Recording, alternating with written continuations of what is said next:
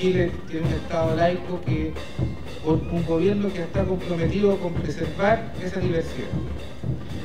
Y desde ese punto de vista yo diría que lo que estamos haciendo tiene importancia en dos sentidos. En primer lugar, porque colaboramos con la expresión de esa diversidad, impulsando que sea más conocido la expresión de fe y de cultura de un pueblo, y al mismo tiempo estamos colaborando con la expresión, lo comentábamos con el señor obispo al comienzo, la expresión de una fe que está profundamente encarnada en la cultura y la vida de un pueblo. Entonces, desde nuestro punto de vista, lo que estamos haciendo es ser absolutamente coherentes con una responsabilidad de crear condiciones para la expresión de nuestra diversidad y de respetar profundamente las distintas expresiones de la cultura popular chilena.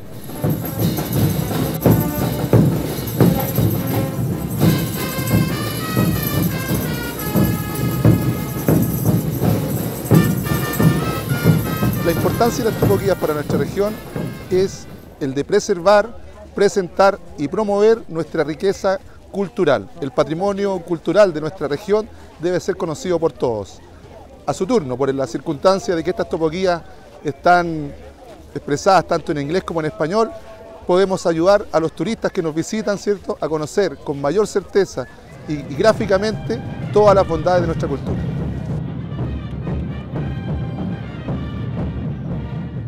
Viene a ser de mucho aporte al conocimiento de lo que significan hoy día nuestras tradiciones, nuestras costumbres populares eh, respecto de la región de Atacama.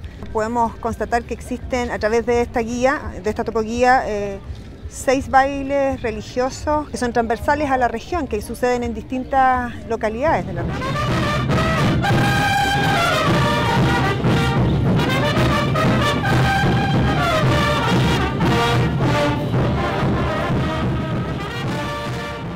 En la región de Arica y Parinacota es muy importante, son muy importantes las cruces de mayo.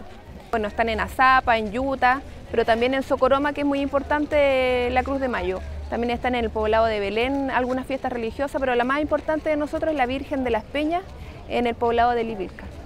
Ustedes podrán eh, comprender que en esta topoguía se van a representar o se van a exponer la identidad cultural y, y, las fiestas religiosas de nuestra región y es muy importante que para ello ustedes lo puedan leer y tener a mano para poder algún día ir a turistear y conocer estas fiestas.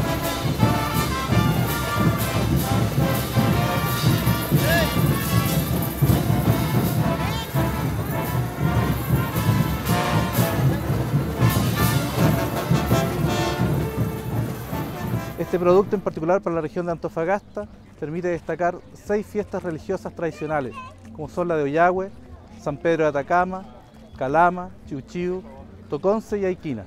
Es un producto muy importante para nuestra región por cuanto nos permite poner en valor nuestro patrimonio cultural.